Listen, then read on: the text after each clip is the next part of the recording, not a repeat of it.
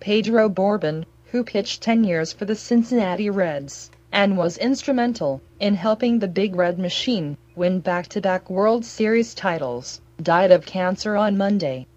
He was 65. Borbon had been in hospice care at his home in Pharr, Texas. Borbon requested to be cremated without a memorial service, his son said. Borbon was a key member of the bullpen on Cincinnati's 1975 and 76 championship teams, winning 13 games during those two seasons.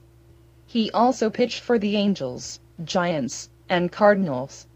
In 2010, he became the third reliever to be inducted into the Reds Hall of Fame. He was probably most proud of the World Series championships, his son said. He would talk about it often.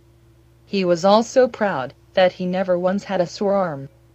He could pitch almost every day. Borbon appeared in more games than any other National League pitcher from 1970 to 1978.